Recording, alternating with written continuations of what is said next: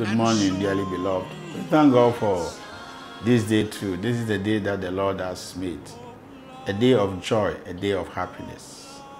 Always when you wake up, say to yourself, The Lord is my strength. And this day is going to be a victorious day for me. And so it doesn't matter how you feel, as I always tell you. We don't depend upon our feeling, we depend upon what the Word of God says, our faith in the Word of God. And so speak it out, and it shall come to pass. Shall we go through the Word of God?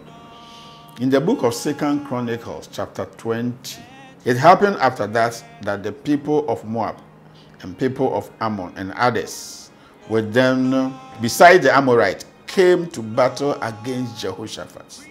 Then some came and told Jehoshaphat, saying, A great multitude is coming against you from beyond the sea, from Syria, and they are in Hazazon, Tamar, which is Engedi. And Jehoshaphat feared and set himself to seek the Lord and proclaim a fast throughout all Judah. Praise the name of the Lord. This morning, just as I've been encouraging you, Jehoshaphat was a great king of Israel, Judah. There came a time that the Bible said that the people from Seir, people from the Ammon, the Amorites, and then the Moabs, they all came together. And three great nations, including Syria, they all came together against Jehoshaphat.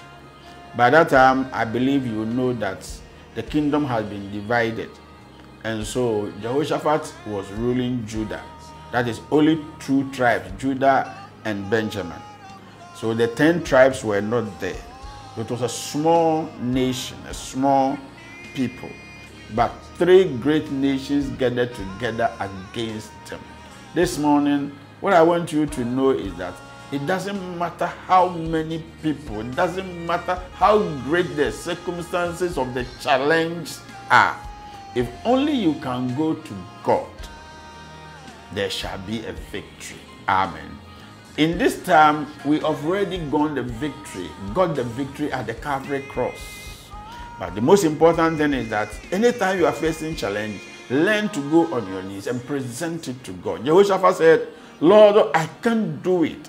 I fear, but I know that you are able to do it. This morning, what do you fear? What is intimidating you? Just surrender to God.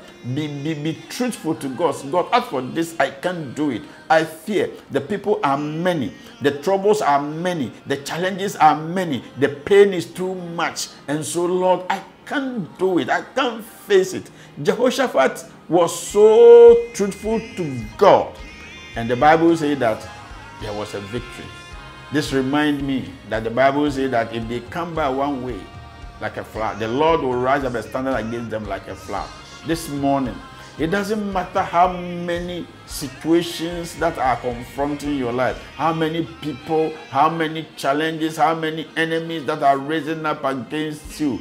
They may come in several ways. But one important thing that I want you to know is Jehoshaphat went to his God.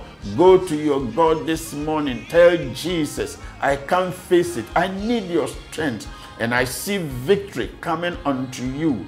Anɔpa yi, nyɛmfa ho nipa dodoɔ, Bible say, aman ahodoɔ kɛseɛ sɔre tia Jehoshaphat. Nanso wɔsɛ Awurade nea adure deɛ ma hoɔden asa brɛ mu. Na berɛ a ɔmo onya ɔsorosoro Nyankopɔn bɛn mu anɔpa yi, nea mepɛ sɛ mehyɛ wo nkura ne sɛ, ɛmfa ho sɛ nea ɔhaw ne dɔɔso, ɛmfa ho sɛ nea amanehunu ne dɔɔso, ɛmfa ho sɛ wei kɔ na wei aba. Ma wo nsa so ka kyerɛ Awurade sɛ, Awurade ma hoɔden asa ma brɛ mu. Na ɔsorosoro nyankopɔn bɛbɛ mu onyankopɔn ɛreba wo ntamadan mu ate. Sɛnea jehoshaphat di nkonim ɛwɔ dodoɔ a na ɛsɔre tia no no saa ara nso na dodoɔ bi a asɔre tia wɔ no ɔsorosoro nyankopɔn bɛmu adi nkonim wɔ ne din mu.